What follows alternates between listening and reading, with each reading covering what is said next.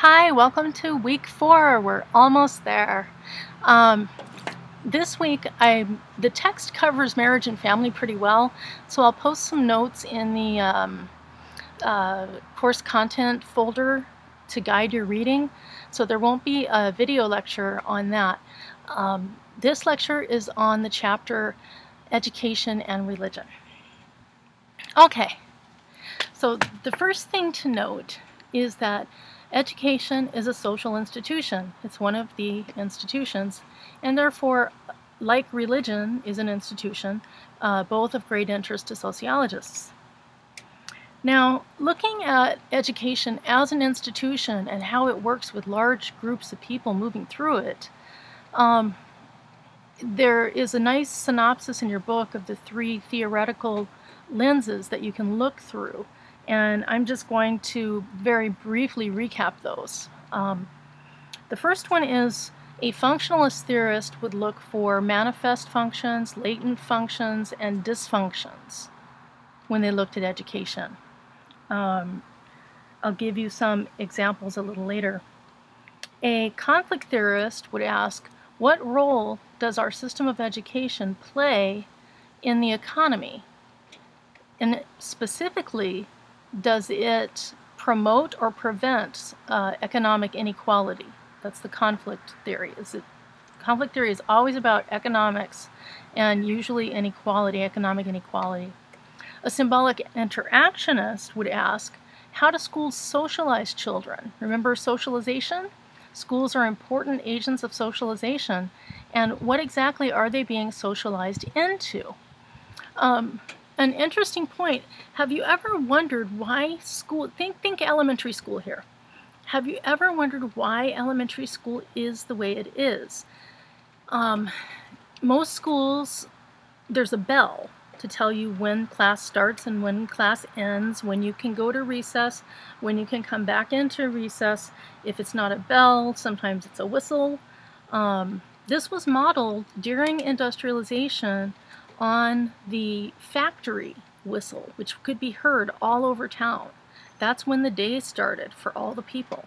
So students originally in elementary school were being socialized into the working hours that corresponded to the factory workday. And here are some other things uh, that we call the hidden curriculum, other things that are taught besides the ABCs that students learn very early on in our educational system. Uh, rules and hierarchy. Students learn that there are rules and that you have to follow them. That is specifically to get them used to that acceptance of authority that comes with being a factory worker. Um, the foreman says do it this way, you do it that way, or you're out of a job. So the socialization that the schools were providing originally were intended to get the kids used to it early and continue it to prepare them for the workforce. At one time, you have to remember just about most jobs were factory jobs. Um, and what's the one thing that's really, really stressed in um, in elementary school, actually all the way up to high school? Attendance. Well, that's what the factory owner wants. He doesn't want you as a worker if you don't know how to get up every morning and go to work. So a symbolic interactionist would look at the socialization that's going on and why it is the way it is, what does it produce, what effect does it have on people. And so that's an example of how symbolic interactionism would look at the institution of education. It would look not at how you were being taught math, but at the hidden curriculum and the socialization that's going on. Now you can read about uh, tracking, where they decide who's bright and who's not, put different labels on them. It can become a self-fulfilling prophecy. That's well covered in the book.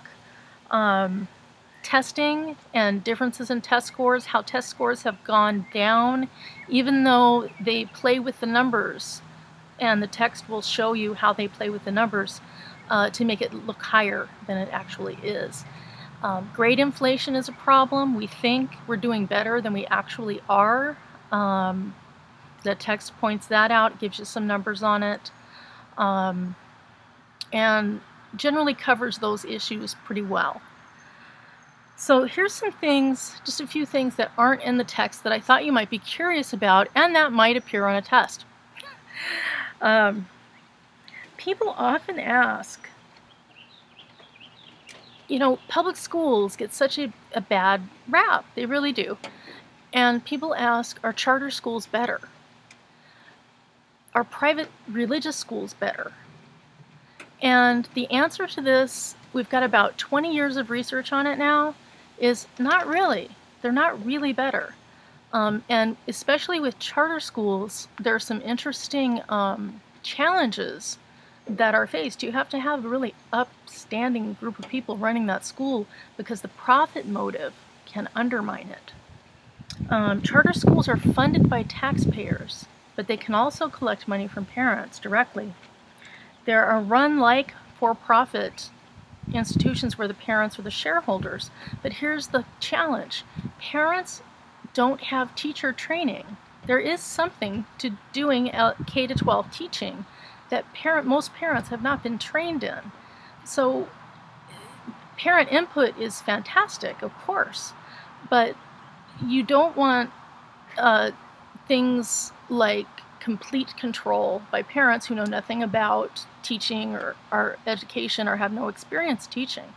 Um, the, it's detrimental. It's not necessarily better at best. Um, but normal parent involvement, of course, is excellent and always to be encouraged. Um, several researchers have compared the test results from private religious schools, charter schools, and public schools over the years and have found that they're basically average out the same. Some, some schools, you might know what particular charter school which is better, or a particular public school that is better, or a particular religious school that truly is better. But if you take them all as an average, look at the group, you know, they produce a bell curve, which is pretty much the same across the institution. So uh, charter schools and private religious schools are not magic bullets that will solve the educational uh, issues. One real crisis that we have in education is the move towards privatization, especially of, of both K-12 and higher education.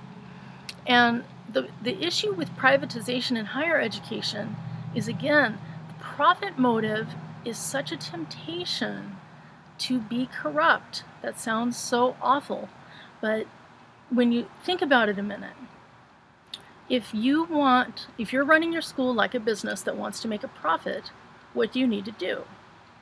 Well, you better give out lots of A's so that you have satisfied customers. And they'll tell their friends and bring in more satisfied customers, believing that the students are doing superior work because they have an A. But if you look in the text, you'll see many explanations for why grade inflation is actually, uh, they, in the text they call it dumbing down America by awarding high grades for average work. So an A is not really an A anymore and will pretty soon become meaningless. Um, that's the that's the issue with privatization, is that profit motive. It gives too much of an incentive for um, uh, grade inflation and other educational practices that might be good for business but bad for learning. And businesses are very good at marketing, and they're very good at covering up these issues in public discourse and in the media. But it's something to watch out for if you're a concerned parent. Um, you know, what's going on behind the scenes with this privatization of education move. Um, so the traditional definition of an A is the top 10% of the grade distribution, which is a 90 or above. K to 12 schools have, especially high schools, have done things discussed in the text like social promotion, where they move you ahead a grade even though you can't read because your friends are in the other grade and they don't want you to feel left out and you haven't learned the skills. So we've developed this culture of sort of moving people along and telling them that we're doing they're doing great because we don't want them to feel bad. But as a result, they're not learning the material and our competitiveness in the world economy and in the domestic economy is failing. We're importing workers from other countries with engineering degrees, science degrees, um, you know, policy analysts, uh, because the actual skill level, you today you can look at somebody who has a transcript full of A's and you put them on the job and the employer will be very dissatisfied because they didn't actually master the skills. And they'll end up job hopping until they find their niche. Um, C is not, a C is not an F. Uh, that's another thing in student culture. C means average. It means you did the assignment and you did it well enough and you performed average, 70% to 79% on the grade scale. Um, B means above average. A B is a good thing, not a bad thing. An A is excellent by definition. Now, when you see some numbers that are pumped out by different uh, schools and you see that, you know, 40% of the students are getting an A, I bet if you took those students and actually gave them a skills test, you would find out that 40% of them were not doing excellent work. Um, so grade inflation is a real issue not only in K-12 but in higher education. And it's used uh, politically. Um, as evidence hey our school is great look at all the A's but are they really doing excellent work? It's a tricky issue. Um, so you can further read about concepts like tracking and education in other countries in the text. Um, so I want to move on from here into the other half of the chapter, which is religion. Now, so sociologists uh, don't take an evaluative view of religion. In other words, as a sociologist, it's not my job to decide what religion is right, what religion is wrong, what religion is true, what religion is false. If I'm studying uh, natives on a Pacific island and they believe there's a vol volcano god, I don't care if there is one or not, or if they can prove it or not. I just care how it affects their society, how that belief affects their, affects their society. I'm interested in what the reality for them is. And that's how sociologists uh, uh, approach religion. We're interested in the effects on society that it has. We're not interested in, you know, what's true and what's false. We're interested in reality. What's what's going on? It's a social reality, I should say. Okay, um, Durkheim wrote a groundbreaking book called Elementary Forms of Religious Life. He went to many different societies all around the world and looked at their religious lives and he found great diversity great diversity. If you look in your text, you'll have it broken down for you, the kinds of diversity that he finds. Um, he defines religion as the realm of the sacred or the supernatural, as opposed to the profane, which doesn't mean cussing. Profane in this context means the world of the everyday, the ordinary. So a church for, in our society, a church would be a sacred space. A mosque is a sacred space. Um, a ceremonial ground for Native Americans is a sacred space. The grocery store is a profane or secular place. It means associated with everyday life. And that's how he defined uh, religion. The two most important latent functions of religion for Durkheim, and you have to remember this is the guy that came up with functionalism pretty much, were that it promotes shared beliefs, values, and gatherings at events. This is very important for Durkheim. He, he makes this point over and over in his book, Elementary Forms of Religious Life, that a certain feeling arises at these events. And this feeling this religious feeling, this sort of transcend, transcendence and transcendence that comes from being in a group sharing a spiritual experience produces solidarity between the people who are participating. And so he saw religion as promoting social cohesion through shared values, beliefs, and events, where people got together and this religious feeling arises, the spiritual feeling arises, and binds the community together. So that's how, that's his main take, or a summary of his main take on how religion holds society together. Um, another very interesting book, a classic, is Max Weber. That's W E B E R, but he's German, so it's pronounced Weber. Um, Max Weber's classic book, The Protestant Ethic and the Spirit of Capitalism. Now, Weber doesn't really fit in with either functionalist or uh, conflict theory, really. Um, he's sort of a hybrid. He's he's more interested in, in organizations and how they work, and it, he just doesn't fit neatly. So you can think of Max Weber as sort of outside of our three major theories. Um, in his book, The Protestant Ethic and the Spirit of Capitalism, he showed that religion served such an important function during that it made the Industrial Revolution and the rise of the economic system of capitalism possible, and that it strengthened capitalism. So religion strengthened the economy at this time. And he said this was not because of any business reason. He said this was driven by religious beliefs, specifically the beliefs of Calvinists which it, that's a Protestant Christian denomination, Calvinists, uh, associated with Northern Europe and Scandinavia also. So here's the basics. This is what the Calvinists believe, and a lot of them immigrated to the U.S. and capitalism took off in the U.S. immediately, um, in part inspired by these religious beliefs. So a Calvinist believed that only a certain number of predestined people were going to heaven. Now here's the problem. You didn't know if you were one of them. Everybody was nervous about that. Now how here's how their logic went. How could you tell if you were one of those predestined to go to heaven?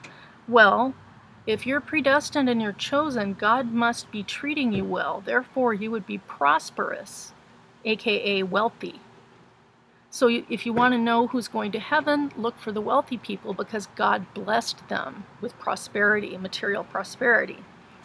That was their logic. Now, you can imagine what the message of this was to people in that society. If you you better work hard reinvest your money, don't spend frivolously, live simply, and reinvest in your business, and then you will be prosperous, and then you'll know that God chose you. So it's religion driving the economy, not the other way around. Um, and this produced a really vigorous capitalist economy in uh, England and the US during industrialization. Um, and it was completely driven by re religious not beliefs. Um, I shouldn't say completely, largely. Largely, let me qualify that. Largely, in Weber's view, I think if if we were able to go back in time and ask Weber about it, Weber would probably say that without that ethic, you wouldn't have a strong capitalism as early as you have it. Okay. Now, a conflict theorist turns all of that on their heads pretty much. They view religion, remember, as the top of that pyramid of the way they conceive of society, as mystification or an ideology that is used to explain to people why they are where they are in the economic system, to explain why there is so social inequality and why that's okay. Um, it distracts people away from the true reasons for economic inequality or justifies the system of inequality. So the conflict theorist looks at religion as an epiphenomena, something that arises from the structure to justify the distribution of rewards within the structure, specifically economic rewards. A conflict theory would view the Hindu caste system as a good example of this. Um, although the caste system has been outlawed in India, it's a centuries old tradition and people still, society is still based on it, even though technically um, it's not in the, the legal code anymore. People, this is their culture. The caste society has five different castes that you're born into, and you can only do the work for that caste. The highest caste is the Brahmin. Um, those are the priests, the scholars. Um, today, traditionally, today uh, there are the upper upper class, the professionals, the doctors, the lawyers. They are Brahmin. They are the top. They are not allowed to take a job beneath their caste. So if if you're born into a Brahmin family and you want to be a plumber, forget it. You'll be a complete social outcast and you'll be born into a lower caste in your next life. They believe in reincarnation. Or you might even come back as a bug. It's very frowned upon.